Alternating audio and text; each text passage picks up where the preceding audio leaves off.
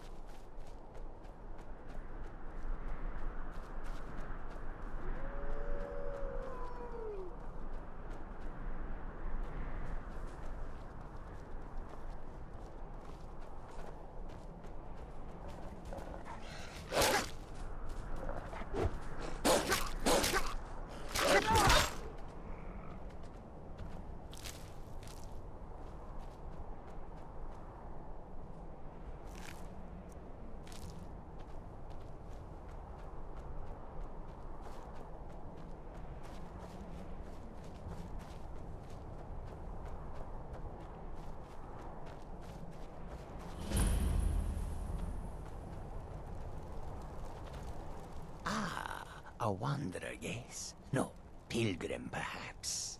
You have come to commune with Peryite, Taskmaster, and Blighted Lord, yes?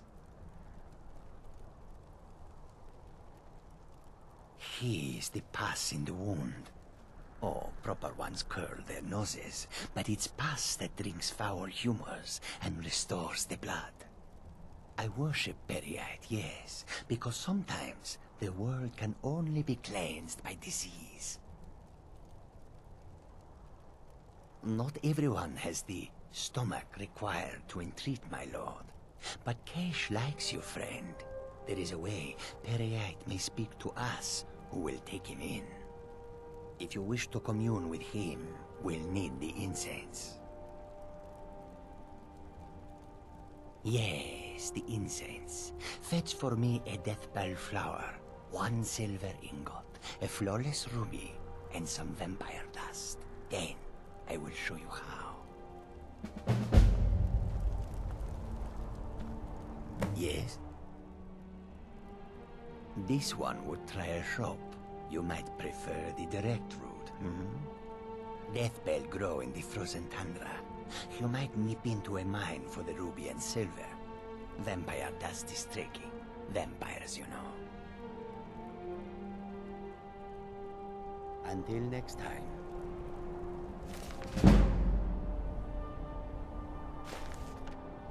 Stop! Thief!